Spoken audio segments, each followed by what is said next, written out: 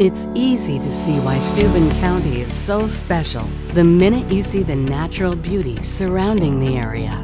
Pokagon State Park offers year round recreational activities for anyone wanting to experience the outdoors.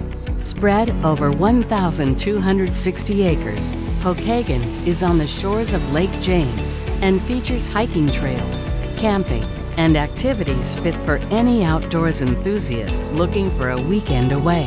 Take an afternoon hike on the miles of hiking trails throughout Pokagon or rent a boat for the day or weekend and relax on Lake James. See fishermen, families, and friends out exploring the beautiful natural features of Steuben County. Enjoy the outdoors at the campground or stay at the Potawatomi Inn with lake access and abundant amenities.